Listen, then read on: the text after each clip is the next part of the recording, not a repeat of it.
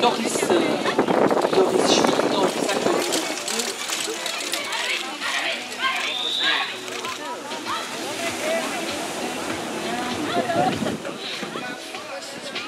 Le chrono de Cédric dans cet obstacle était de 50,10.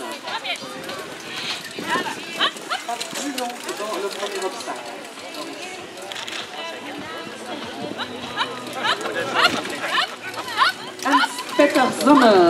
Est dans l'obstacle numéro 1. Il est groomé par Lisa avec Iron Seat et Nick les deux poneys.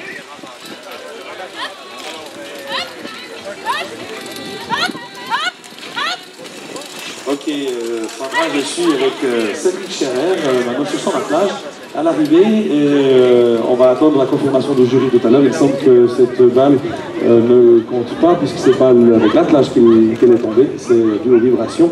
Donc euh, on, verra la confirmation tout à l'heure.